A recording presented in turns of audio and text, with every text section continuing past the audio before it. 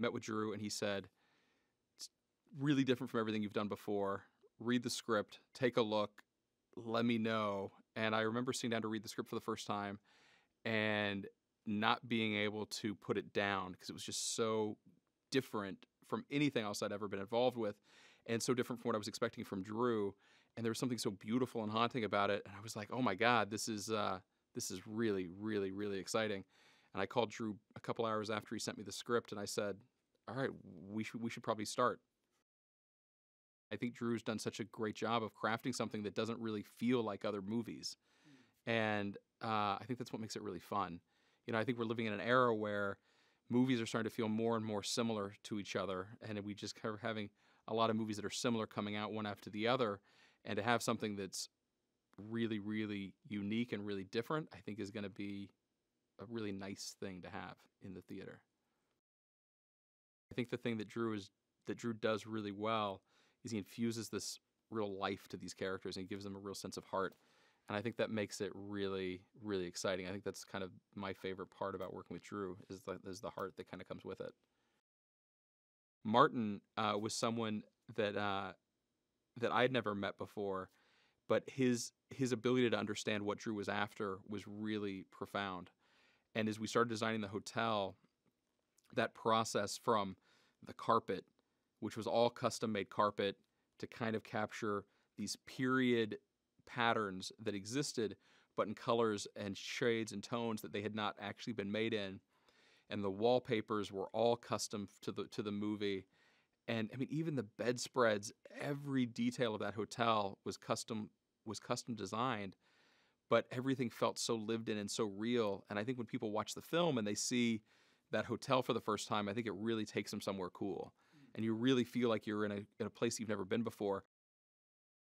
I love when a director comes in with a document just laying out how color is going to work in the film because so much of the palette of a movie can tell you things about character about the emotions that you're supposed to feel in the film about the way the movie's going to unfold and i think the way drew approached color was so robust and so specific that it made it really made the movie come to life right away for everybody Jon Hamm was a really exciting choice as an actor for the film. Um, he joined the process really late, and he brought so much energy and so much life and so much excitement and enthusiasm to the role.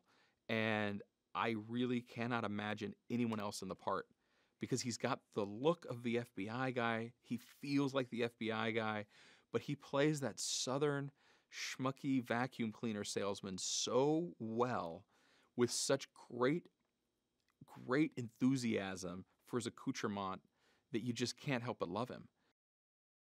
Darlene is the character who is moral throughout. She doesn't compromise, she doesn't bend, she doesn't do the wrong thing on occasion.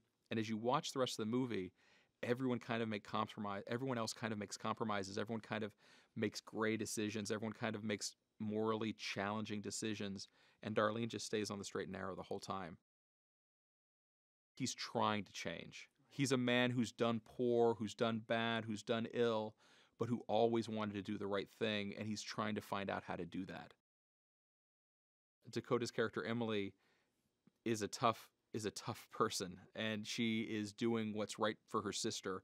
She's not necessarily going about it the right way, and you kind of see what happens as a result to her um, because she's making compromised decisions but the things she's doing are brave and she's trying to protect her sister and she's trying to remove her sister from a bad situation and you realize she's been protecting rose since they were children you know and she's not gonna let anything come between her and her sister if you look at her singing in the big oner when laramie's going through the hallway i think we did that 27 times and she performed that whole thing 27 times all the way through without even flinching. And it was unbelievable to watch. And her voice lasted the whole time and she she has such a control over her voice, over the instrument that is her voice. And she just really killed it. To have such a big musical component in the film was something I was super psyched about because it's just something great about that vibe.